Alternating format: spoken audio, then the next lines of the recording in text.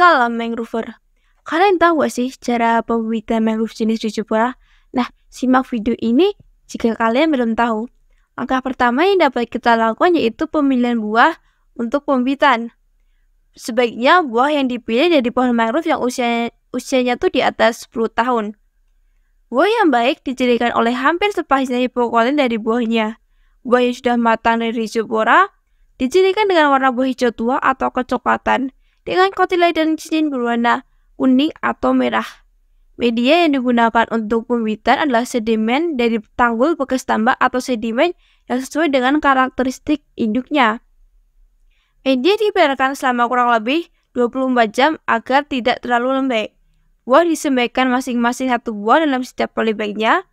Buah ditancapkan kurang lebih sepertiga dari total panjangnya sekitar 7 cm setiap 6-10 benih diikat jadi satu agar tidak mudah rebah.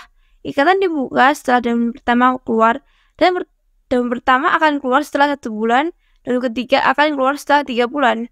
Semangat mangrover!